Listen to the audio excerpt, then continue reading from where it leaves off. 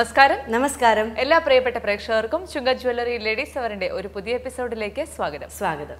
ഇന്ന് നമ്മൾ സംസാരിക്കുന്നത് ചില വിശ്വാസങ്ങളുടെ കാര്യമാണ്. വിശ്വാസം എന്ന് പറയുമ്പോൾ പെട്ടെന്ന് നമ്മുടെ ആചാരപരമായ വിശ്വാസങ്ങളല്ല അതിനപ്പുറത്തേക്കുള്ള ചില വിശ്വാസം അതെ ശരിക്കും സർവേ പരമായി സ്റ്റാറ്റിസ്റ്റിക്സ് എല്ലാം എടുത്ത് അസീം പ്രേംജി യൂണിവേഴ്സിറ്റിയിലെ സ്റ്റുഡൻസും സെന്റർ ഫോർ ഡെവലപ്മെന്റ് സ്റ്റഡീസും ഇവർ രണ്ടുപേരും കൂടെ ചേർന്ന് വിശ്രുതമായിട്ട് ശരിക്കും ഇന്ത്യയിലെ ഒരു ഏഴ് സംസ്ഥാനങ്ങൾ അതിൽ കേരളമില്ല എങ്കിൽ പോലും ഏഴ് സംസ്ഥാനങ്ങളിൽ എടുത്ത് വെച്ച് അവരുടെ ഒരു ഫെയ്ത്ത് ഇൻഡെക്സ് എഫക്റ്റീവ് ട്രസ്റ്റ് എന്നാണ് അതായത് അതിനെ പറയുന്നത്.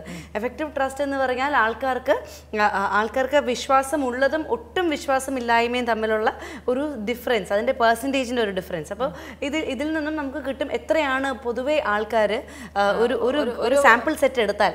എത്രയാ എത്ര ശതമാനം ആൾക്കാർ ഒരു പ്രത്യേക കാര്യത്തിൽ വിശ്വാസം അർപ്പിക്കുന്നു എന്നുള്ളത്. കാരണം നമ്മൾ നമ്മളൊരു പരസ്യം അല്ലെ വിശ്വാസം അതല്ലേ എല്ലാം എന്ന് പറയുന്നത് പോലെ തന്നെ ഓരോ ആൾക്കാർക്കും എന്തിലാണ് ഇന്ത്യൻ ഇന്ത്യയുടെ ഭരണഘടനയിലാണോ അല്ലെങ്കിൽ ഇന്ത്യയിലെ ഏത് ഒരു സംവിധാനത്തോടാണ് ജനങ്ങൾ വിശ്വാസം അർപ്പിച്ചിട്ടുള്ളത്? അല്ലെങ്കിൽ ഇന്ത്യയിലെ രാഷ്ട്രീയ പാർട്ടികളോടാണോ? അല്ലെങ്കിൽ സൈന്യത്തോടാണോ? ഇന്ത്യ എന്ന് പറയുന്ന പരമാധികാര രാജ്യത്തോടാണോ? ഏതിനോടാണ് ഏറ്റവും അധികം വിശ്വാസം ഒരു സമൂഹത്തിനുള്ളത്? അല്ലെങ്കിൽ ഒരു പതിനാറായിരത്തോളം അല്ലെങ്കിൽ പതിനേഴായിരത്തിനടുത്തുള്ള അധികം ആളുകളെ എടുത്ത് നടത്തിയ ഒരു സർവേയുടെ റിപ്പോർട്ടാണ് നമ്മൾ ഇന്ന് സംസാരിക്കുന്നത്.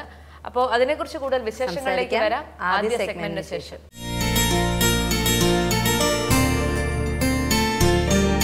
നമസ്കാരം.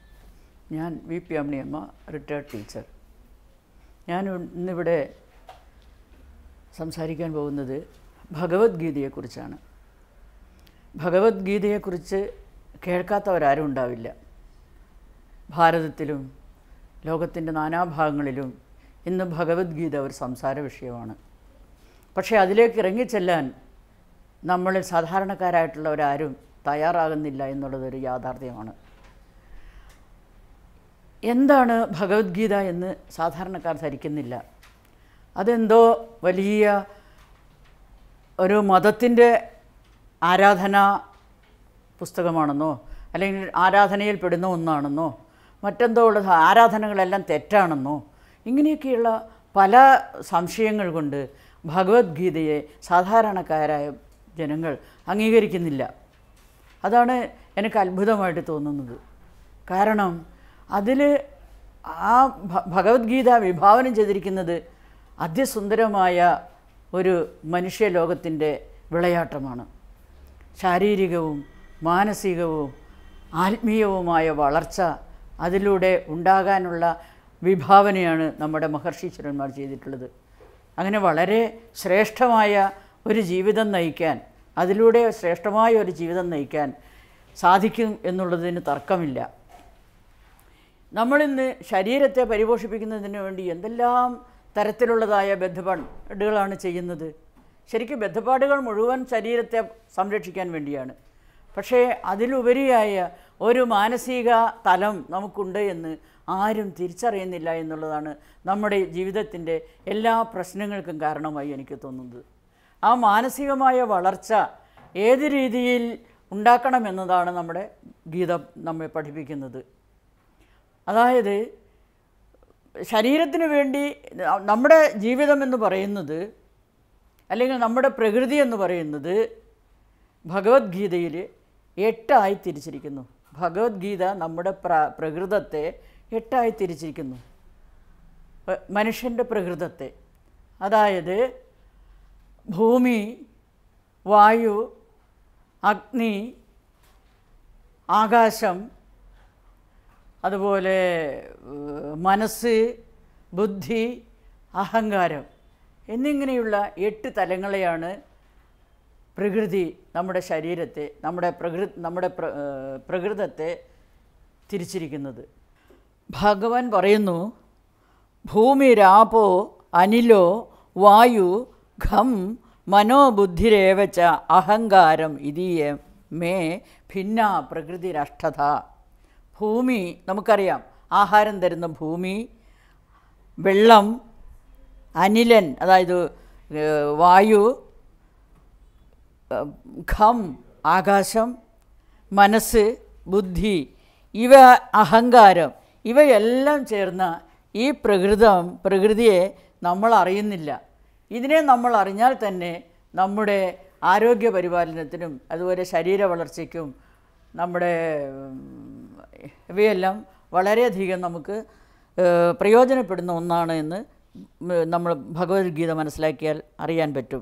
ദേഹത്തിന് വേണ്ടി നമ്മൾ ചെയ്യുന്ന കാര്യങ്ങളെല്ലാം ഈ പ്രകൃതിയുടെ സന്തുലിതാവസ്ഥ അല്ലെങ്കിൽ പ്രകൃതി നമുക്ക് കൽപ്പിച്ചിട്ടുള്ളതായ അവസ്ഥയെ പരിപാലിക്കാതെ അവയെപ്പറ്റി അറിയാതെയും നമ്മൾ ചെയ്യുന്നത് കൊണ്ട് നമ്മുടെ നമ്മുടെ ആരോഗ്യത്തെ അത് വളരെയധികം ബാധിക്കുന്നത്. ശരിയായ ഒരു ആരോഗ്യത്തോടു കൂടി മനുഷ്യൻ ജീവിക്കാൻ കഴിയണമെങ്കിൽ ഈ ഗീതയിൽ പറഞ്ഞിട്ടിരിക്കുന്നതായ ഈ പ്രകൃതിയുടെ അതായത് ഭൂതങ്ങളുടെ അതായത് പഞ്ചഭൂതങ്ങളുടെ നില ശരിയായ മേളനത്തോടു കൂടിയുള്ള ആ അവസ്ഥ ആ സംരക്ഷണത്തോട് പഞ്ചഭൂതങ്ങളെ സംരക്ഷിച്ചുകൊണ്ടുള്ള പോഷണത്തോടു കൂടിയുള്ളതായ ശരീരാവസ്ഥ ഉണ്ടായാൽ മാത്രമേ മനുഷ്യന് യഥാർത്ഥത്തിലുള്ള ആരോഗ്യം ഉണ്ടാവുകയുള്ളൂ. അതാണ് ഇന്ന് വായു മലിനമാക്കുന്നത് കൊണ്ടും ആഹാരാദികളിൽ വരുന്ന ദോഷം കൊണ്ടും ശരീരത്തിന് യോജിക്കാത്ത ആഹാരം കഴി- കഴിക്കുന്നത് കൊണ്ടും വരുന്നതായ രോഗാവസ്ഥയും വായു മലിനീകരണം വെള്ളം മലിനീകരണം ഇവയെല്ലാം നമ്മൾ അടിച്ചേൽപ്പിക്കുന്നത് ഈ രീതിയിലുള്ള ബോധമില്ലായ്മയാണ്. അപ്പോൾ ശരീരത്തിന്റെ വളർച്ചയെ നമ്മൾ അറിയണമെങ്കിൽ ഭഗവത്ഗീത പഠിച്ചാൽ മതിയെന്നാണ് എനിക്ക് ശരിക്കും പറയാനുള്ളത്. അതുപോലെ മനസ്സിന്റെ നില. മാനസികമായിട്ട് നമ്മൾ ശരീരത്തേക്കാൾ നമ്മൾ ശ്രദ്ധിക്കേണ്ടത് മനസ്സിന്റെ നിലയാണ്. അതായത് ഭഗവാൻ പറയുന്നത് ദേഹത്തെ അറിയുന്നതിനേക്കാൾ കൂടുതൽ ദേഹിയെ അറിയുവാനാണ്. ദേഹം എന്ന് പറഞ്ഞാൽ നമുക്കറിയാം ശരീരമാണ്. ദേഹി എന്ന് പറഞ്ഞാൽ ആത്മാവും. ഈ ആത്മാവിലേക്ക് എത്തി നോക്കുക. അതായത് നമ്മൾ പുറമേയുള്ള കാര്യങ്ങൾ അറിയുന്നതിനേക്കാൾ കൂടുതലായിട്ട് നമ്മുടെ ഉള്ളിലേക്കുള്ള കാര്യങ്ങൾ അറിയാൻ ശ്രമിക്കുക. അങ്ങനെ അതിനു വേണ്ടിയാണ് നമുക്ക് ആ ഉള്ളിലേക്കുള്ള അടക്കം വരുന്നതിന് വേണ്ടിയാണ് മനസ്സിനെ ശാന്തമാക്കുന്നതിന് വേണ്ടിയാണ് നമ്മൾ പ്രാർത്ഥന ജപം അതുപോലെയുള്ള കാര്യങ്ങളെല്ലാം ചെയ്യുന്നത്. ഇന്നത്തെ തലമുറ ജപം ധ്യാനം തുടങ്ങിയ പ്രവർത്തനങ്ങൾക്ക് തീരെ പ്രാധാന്യം കൊടുക്കുന്നില്ല. അതുകൊണ്ടൊക്കെ എന്ത് കിട്ടാനെന്നാണ് അവരുടെ ചിന്ത.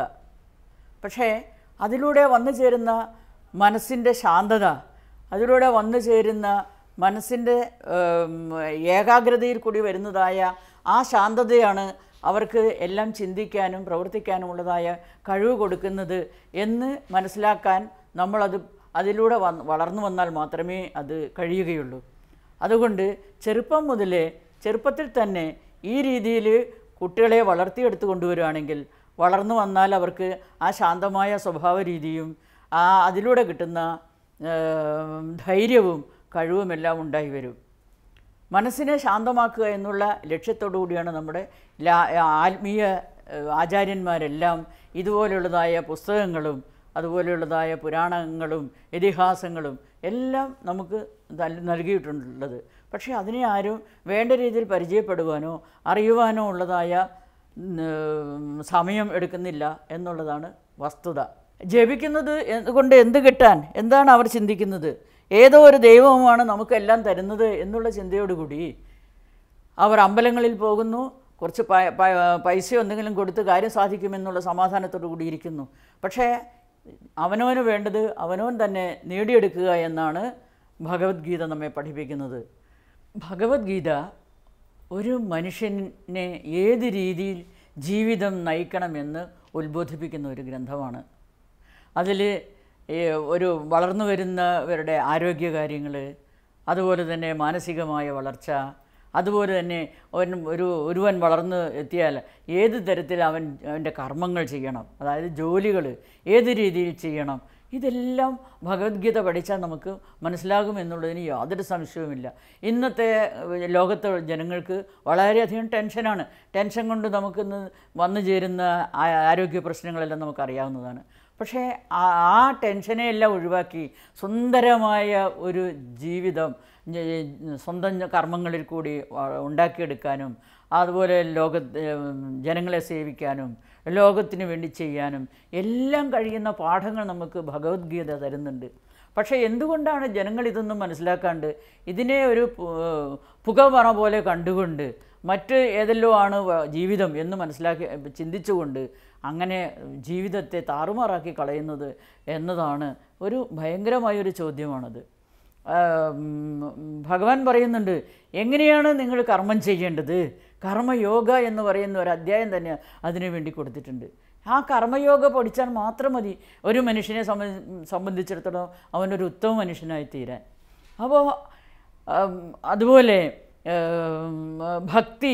ഏത് രീതിയിലാണ് ഭക്തി ഉണ്ടാകേണ്ടത്? നമ്മളെല്ലാം ഇന്ന് കാണുന്ന ഭക്തി എന്ന് പറഞ്ഞാൽ നമുക്കറിയാം. അമ്പലത്തിൽ പോകുന്നു അവിടെ കുറേ പണ പൈസ ഒക്കെ ചിലവ് ചെയ്യുന്നു.